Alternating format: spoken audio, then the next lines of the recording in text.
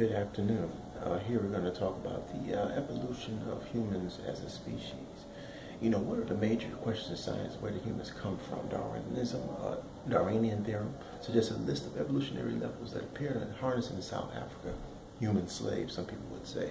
The fossils found in deep caves of the Rising Star exposition exploited by Howard Carter relate information of being the era of King Tutankhamun, King Tut, and present a new evolution language about uh, the, the dawn of humanity. Where did this all come from? How we supposedly became human. The High Plains of Johannesburg offers an explanation of hyper-evoluted apes. Hyper-evoluted apes in the cradle of humankind. Now, there have been some Sumerian, as we know, ancient Sumerian, which is Aryan, uh, philosophies that said that the Anunnaki, or some people, Anunnakis, came down and created us from hyper-evoluted apes by taking genetic recombination, inserting this into the primate itself, which did happen. We actually can see this because in the caves that we saw, which I believe is much older than 425,000 years ago. I think it's way older than that. This stuff is trillions of years old.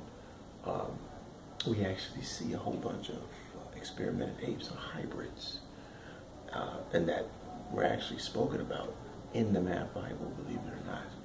And uh, the problem with that is, is how did they get down there? These caves were very, very steep and uh, almost virtually impossible unless you had technology or you used it basically as a burial ground. Once these slaves, you know, human slaves at that time, uh, were disposed of, you took the bodies and carcasses, you threw it down into this uh, deep, deep cavern, which is thousands of feet deep. Uh, so I don't care how great of a climber you are, you're not going to climb thousands of feet to get out of this thing unless you have some technology. So that was uh, the genus Homo gap. Okay, that was an important episode of uh, the God, the God gene theory of how this stuff came into part, who created us, uh, and the phenotype of these things, of course, from two to three million years ago, was uh, big brains, small faces, Homo habilis, and the origins of genus Homo. Uh, but the funny thing about this, this actually suggests and states that there is a limit function mathematically that is uh, possibly a link to human evolution.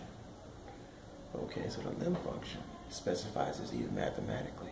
So we have a scientific method and literally a mathematical method that both coincide. Very interesting. And we also talk about the Sotho languages here, which are basically ape languages. You can see and suggest in how certain people look. You know, no butts, flat butts, uh, speaking sporadically or having uh, some form of uh, dyslexic communication.